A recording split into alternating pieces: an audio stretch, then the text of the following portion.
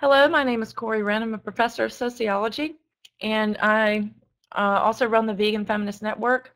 And this is part of a three-part lecture on speciesism and sexism. Uh, if you want to go back and check out the first one first, uh, it covers uh, the gendered experience of non-human animals. So I look at the different ways that uh, animals are exploited based on their gender. And this one I'm going to be looking more at intersectionality, how the oppression of non-human animals mirrors that of women, and also how they aggravate one another.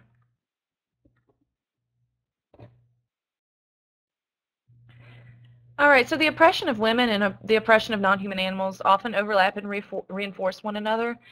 Um, and a lot of this presentation is going to be focused on um, some big theorists of intersectionality, like Patricia Hill Collins, who's a sociologist, David Nibert, who's a sociologist, and also Carol Adams. Uh, this picture I took at a liquor store in Fort Collins, which is a big beer city. That's where I went to graduate school. And so you see it's called Raging Bitch Belgian Style India Pale Ale. And if you look closely, you can see that the illustration of the dog has got like human breasts and it's uh, so it's playing on the stereotype of women and it's also degrading animals at the same time. Intersections between women and non-human animals involves a culture of pleasurable consumption of consumable beings, and this is building on Carol Adams' theory. Um, basically, both animals and women are turned into things that can be consumed. Uh, so advertisements and pornography are constructed constructed around uh, cueing arousal. So users learn to be receptive. Uh, we're not passive uh, recipients of media. We actually are being socialized by media. And attraction and desire are socially constructed. So the media, which is again controlled by uh, elite interests, and mostly white males who run the media, own the media, make decisions on the media. So we are being trained as a society how to react to this media, and we're being trained to view these vulnerable populations as consumable objects. So the consumption of the female and the non-human body often intersect. The two dominated minority groups are turned into things and they exist for male pleasure. And here's an example of a Carl's Jr. commercial or Hardee's for East Coast people in the U.S. Uh, think that I don't that might be Jessica Simpson. Uh, I'm not sure, but a lot of their commercials will feature uh, famous women who are famous for their sexuality. And there's one commercial that they have with Paris Hilton, who's wearing a revealing bathing suit and she's riding around on a soapy car that she's supposed to be watch, washing and eating a hamburger from Carl's Jr. or Hardee's. Hardee's is really notorious for uh, mixing the two, uh, objectifying animals and objectifying women at the same time and sexualizing the consumption of both. Uh, Burger King has also had a few commercials like that, and I'm sure you can think of lots of other examples. Carol Adams uh, has a book called The Pornography of Meat, and she has lots and lots of uh, examples in that book and it's a really easy read and I really recommend that one for anyone who's interested in these intersections. Here's some examples though that I've uh, found on the internet. I think the t-shirt is actually from Carol Adams. Uh, we can it says roasting fat ones since 1847. Uh, I can't remember which what this t-shirt came from, but it, doesn't matter. I mean, obviously it's some kind of male gathering. And so you see women are conflated with animals, uh, where animals are sexualized and women are objectified. So it's really difficult to disentangle them because they are so overlapping and they reinforce sexism and speciesism are like self-reinforcing. Uh, here's a dress. I don't think this is a Halloween dress. I think this is a regular dress. Woman dressed up like bacon. Again, she has been commodified as an animal product. So the, the notion here is that she's consumable, literally. And of course, non-human animals are rendered like absent and invisible. We don't even see them. It, it's just a piece of meat and there's no likeness to an animal at all. So again, there's overlap in the commodification of both. And here is a picture uh, from a gas station where a woman is, it's a cardboard cutout of a woman with beef jerky attached to her. So again, we have the overlap where women are turned into consumable objects and animals are rendered invisible, and of course they're also seen as consumable objects. So objectification is really important to understanding the intersection of speciesism and sexism. Both women and non-human animals are objectified in order to make them consumable. They're depersonalized and become objects, then you no longer have to feel guilty about eating them, right, or consuming them. And this also relates to the absent referent notion. This is uh, Carol Adams. The absent referent means the separation of the person being consumed from the object being consumed. It's no longer someone, it becomes something. And the violence becomes, it's, it's hidden, it becomes invisible. All this is really necessary to facilitate you know the consumption. Where people don't have to think about the oppression that's involved it makes the consumption more pleasurable it makes it um, without that guilt it makes it a lot easier. Uh, pornography is also important here. What is pornography but the ultimate consumption of um, sexualized objectified bodies? Pornography reduces women to meat. They're no longer seen as persons they're butchered and consumed and what butchered mean is means is they're fragmented. Their body parts are fragmented. It, it's no longer like a whole person. Um, so these fragmented body parts become sexualized for for the consumer's pleasure. So you'll see women in pornography tend to be interchangeable and what that means is they just they there's this idealized type of uh, the commodified woman she's hairless she's got the perfect tan. She's usually blonde, and she's a certain thin body type, busty. And so it becomes about these objectified body parts and not about the person. so men are in control, women are seen as or perform these submissive roles. And what this does is naturalize sexual dominance. So we see that throughout all pornography. And so what Carol Adams is trying to do is apply this notion to how we view meat. How do we view non-human animals? We turn them into meat. We no longer see them as persons. We butcher them. We consume them. We uh, fragment their body parts and sell them as fragmentations, and and it becomes sexualized. And so we saw that with the earlier slide where uh, the two were so overlapped that you know meat was presented on women's bodies and women were dressed as meat. And so we've naturalized that sexual dominance both for our relationships with women and with our relationships with other animals. Okay, so pornography also has certain scripts that um, teaches us how we're supposed to behave, um, how, according to the gender that we uh, identify with, how we're supposed to uh, interact with others. And so what happens in pornography is there's this, this script of naturalized male dominance and women or feminized subservience. So the gender scripts we see in pornography is that men want sex and women are there to give sex or haven't taken. So the language of pornography is advertising, uh, it's man-to-man language. A fraternity of men is nurtured.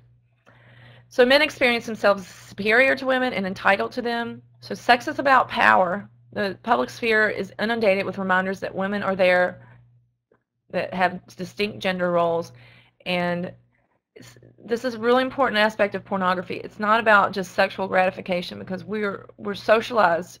Sexual attraction and is is very socially constructed. So porn pornography is teaching us a specific story. It's teaching us that uh, getting turned on is is about power. It's about being able to dominate others, make them subservient. And so if we see pornography from this perspective, we can see how easily we can apply it to not just how we treat women, but also other feminized groups in our society, which would be people of color, uh, gay and lesbian people, uh, and non-human animals. So when we talk about this gender dichotomy, it's not just men versus women, it's masculinity versus femininity. So importantly, when we have the placement of non-human animals in images with women, that acts as a reminder that women are animal-like. And when we bring in the intersection of race, we really see that highlighted. Uh, this is a typo here. I meant to say African American women are painted as having animalistic sexuality, because of course women of color can entail a, a, number of races. But specifically, uh, African American women are really portrayed as being like um, very animalized.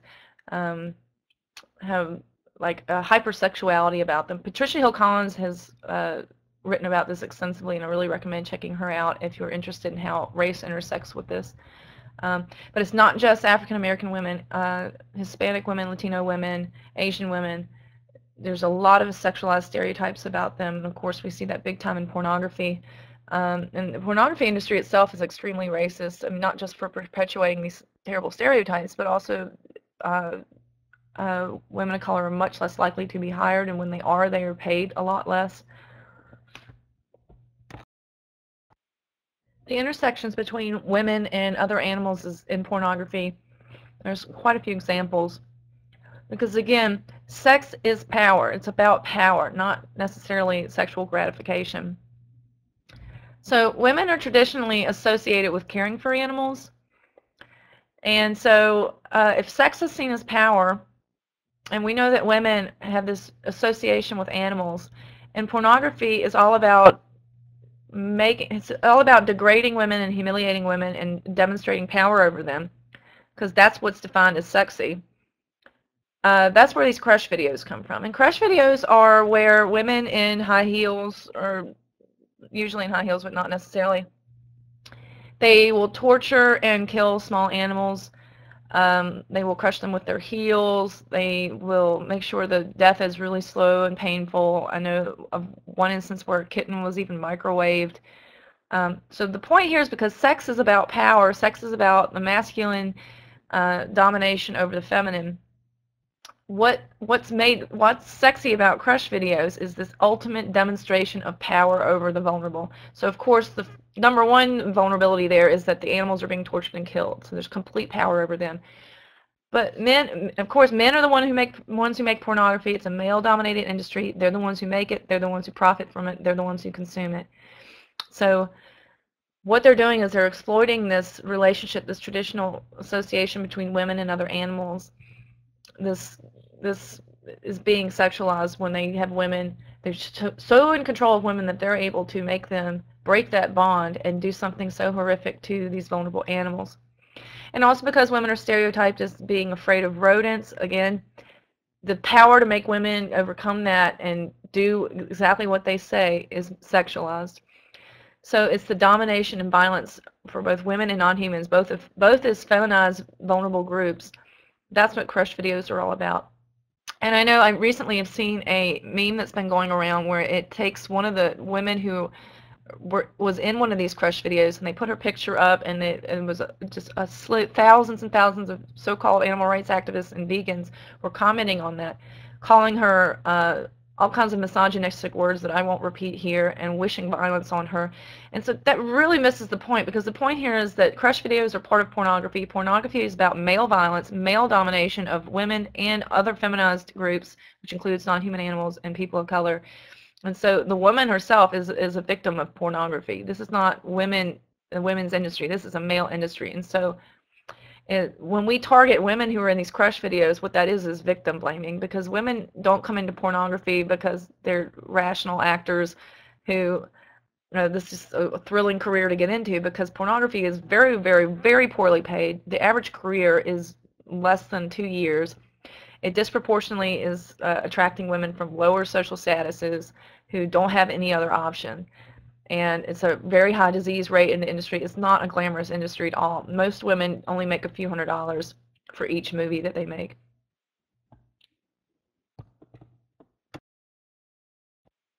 So if we understand pornography to be about domination and uh, a display of masculine power over the feminized body, uh, Patricia Hill Collins is arguing that the origin of pornography then is linked to the objectification and sexualization of black women. If anyone has seen uh, 12 Years a Slave, uh, yes, that movie is about a male main, a male main character, but it is the supporting role of the woman that he encounters living on one of those plantations that really, that's really how the movie gets brought home, isn't it?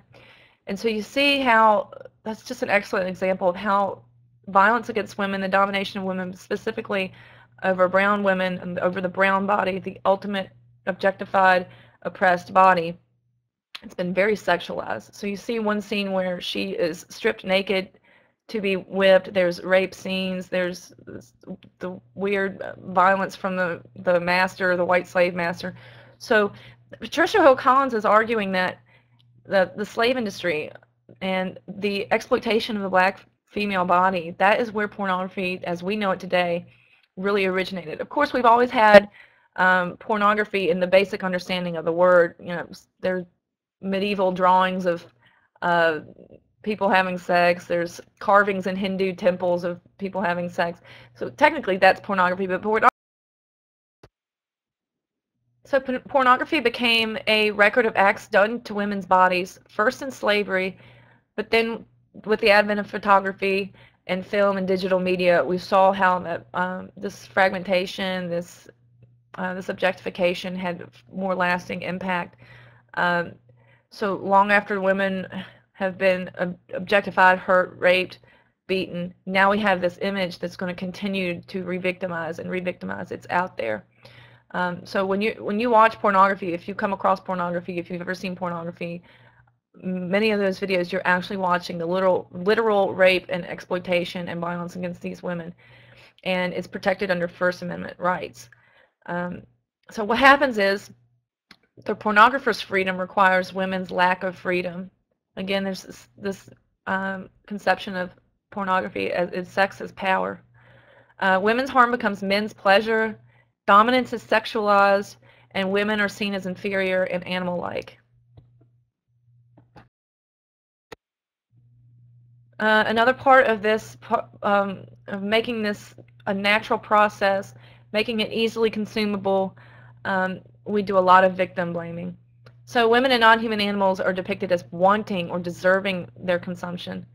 And what this does is justify the behavior. So while women and non-human animals are socially and physically bound in the ways that they are institutionalized, uh, institutionally objectified, objectified and oppressed, we see them as free. We see them as free agents, even though they're really acting according to these institutional um, discriminations. So what this does is now we see the degradation and consumption as harmless and okay. There is a website called Suicide Foods.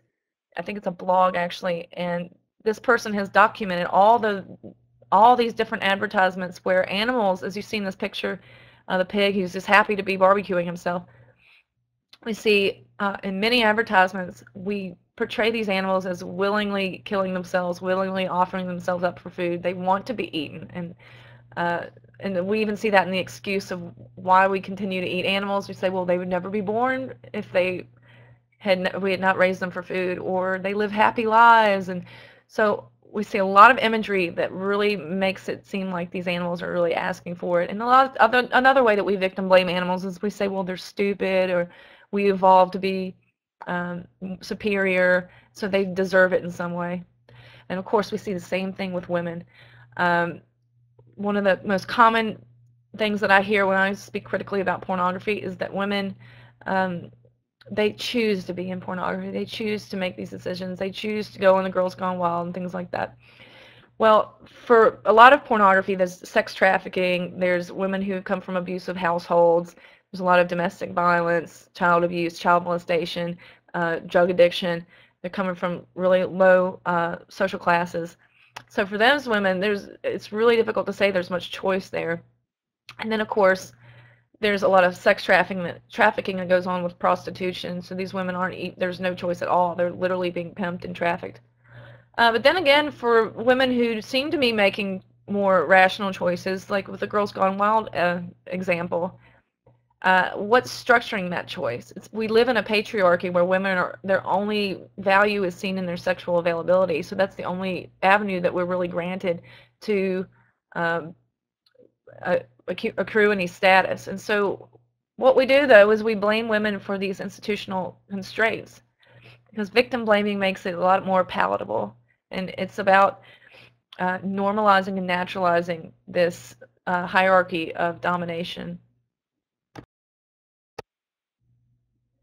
Again, uh, this normalization and internalization is really important to understanding uh, how this continues uh, one example is that if a fish could speak, water would be the last thing that she would identify as part of her environment because it's just everywhere. It's such a normal part of her life.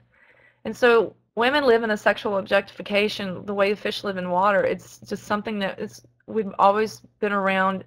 It's since we were born in every aspect of our life. This these we are internalizing these expectations of what what it means to be a woman, what it means to be a man, what sex is, uh, what food is. All these things we're just we're socialized with these, and we we're not really conscious of them all the time. And so, of course, we see the animal rights movement. This is where I specialize. The animal rights movement, too, has internalized these norms of what it means to be a woman, what it means to be a man.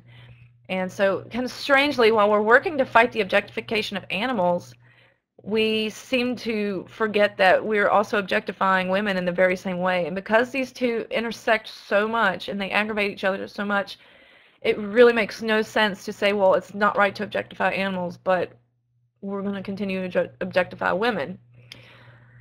So the animal rights movement is a little bit unique because we're mostly women. It's 80% women. The animal rights movement has traditionally been associated with nature. Um, one of the ways that women were able to uh, get out of the domestic sphere and into the public sphere is to exploit that um, that stereotype that women are associated with nature and caretaking, and so that let us um, get out and start advocating for animals. Uh, women were some of the first important advocacy groups. They fought against uh, animal testing in the late 19th century. Um, when birds were going extinct for women's fashion, a lot of women's groups were uh, involved with fighting that. And of course, today, 80% women. It's a mostly female movement. So what happens though is because the movement is mostly male-led, like many social movements, men get uh, experience the glass elevator effect. They get put up into these prestigious positions, leadership positions. They get to make the decisions. So women are becoming exploited um, under the presumption that they are naturally nurturing in order to participate. And then because most leaders are male, we have extreme sexism within the movement and from counter movements. And so there's been some sociological research that um, because the movement has been seen as female, depending on what campaigns they're going for, like the hunting campaign, because it's mostly men who hunt, and then it's mostly women who are protesting the hunt. You see a very gendered division there. Um, there's a book called Brutal by Brian Luke that I highly recommend if you're interested in this dichotomy between male maleness and femaleness and animal rights activism. So from the counter movement, we experience a lot of sexism because they presume we're just a bunch of uh, silly women or hysterical women who are just too emotional. But on the other hand, the animal rights movement itself is pretty sexist in saying that women have two roles. You can be um, behind the scenes making the coffee and doing the boring, less prestigious work, or you can take your clothes off and supposedly advocate against the objectif objectification of animals by objectifying yourself. Okay, so to summarize, human female animals and non-human animals are objectified and consumed in similar ways. Uh, women are often likened to non-humans and both are treated as objects. So a lot of times women are animalized and sexualized and a lot of times animals are sexualized and both both um, and feminized. And the point there is to make them is to draw on this notion of feminiz, femininity as inherently consumable and inherently lesser and sub, um, easily dominated. So when we treat non-human animals like women, we treat women like animals. It makes it easier to um, objectify them, consume them. And women are consumed not just um, not in, not in the most straightforward way, like animals are literally consumed, but women are consumed um, and and being consumed by, by the male gaze and as being victims of sexual harassment and sexual violence. So both minorities are sexualized and portrayed as willing providers, and we see a lot of victim blaming that goes on with that, and a lot of naturalization of this hierarchy of domination. And pornography involves power. Remember, it's one of the important things here. Sex is about power. It's not just about you know the biological reactions that we have. It's socially constructed. Sex is socially constructed to uh, normalize power relations. And so what happens is we link sexuality with dominance. And uh, Patricia Hill Collins has drawn on the history of slavery as one of the, if not the most important site where the origin of pornography as we know it today um, with the sexualization of dominance over a feminized, vulnerable body. Okay, so to leave you with some discussion questions, Uh, so you can be thinking about this and um, before my last presentation for this comes up, uh, probably uh, you'd want to think about what are the in intersections between species and gender because this is a very brief presentation. Uh, I can only touch on some of the many, many, many, many intersections. And what are your thoughts on the origin of pornography? Do you think that it began, began, began with the black experience or did it precede it? And how does pornography impact black women today? And not just black women, but other women of color as well. Um, and consider how cow's milk has largely replaced human milk for nurturing human infants. Um, can you explain how that is connected? And I also want to recommend there's a book, um, not a book, a recent article that was published in American Quarterly uh, in 2013, uh, Greta Gaard on post-colonialism and milk, and it explores all the intersections between animals and uh, animals and colonialism and race and class and gender, and it's a wonderful read. Thanks.